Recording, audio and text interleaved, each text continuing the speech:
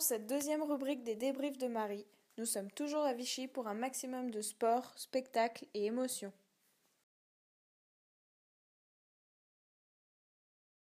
Ce samedi matin a eu lieu le Grand Prix Jeunes Chevaux, l'ultime jour de compétition pour ses futurs cracks. Chez les 6 ans, c'est Cédric Angot et Tescari Jack qui remportent l'épreuve, signant un magnifique double sans faute et plus rapide que ses adversaires.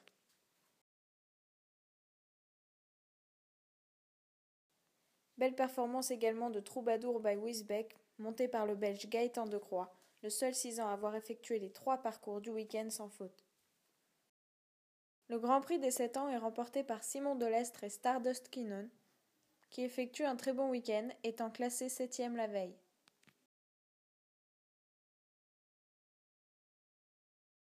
Salto de la Roque et Superstar la Vallée, montés respectivement par Michel Écart et David Gioberti, sont également à suivre de près, seuls 7 ans à être aussi réguliers dans le week-end, sans toucher une seule barre du concours.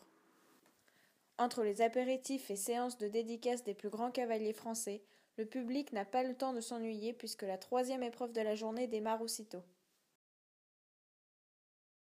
Une chasse d'une hauteur d'un mètre quarante qui mélange obstacles naturels et tracés originaux, pouvant presque être qualifiés de derby.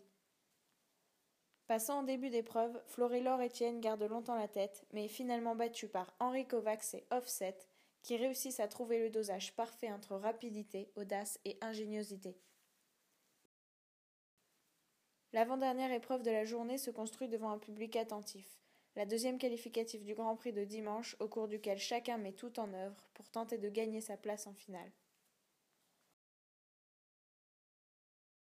Seuls Patrice Delaveau et Kendall de Lejoux HDC parviennent à déjouer les différents pièges du chef de piste Jean-François Gourdin. Parcours parfait et meilleur chronomètre annonce la forme de notre cavalier français pour le Grand Prix de demain. Le spectacle continue au jumping de Vichy avec l'épreuve phare de ce samedi soir, les six bars. Ils ont tous essayé de battre le record des années précédentes, d'une hauteur de 2 mètres 5, mais les trois meilleurs cavaliers de cette épreuve échoueront à 2 mètres 10 et s'offrent la victoire ex aequo, partagée entre Marlon Modolo Zanotelli et Clint Philippe Rosier et Balouz Herbe, et encore David Gioberti sur premier de la vallée.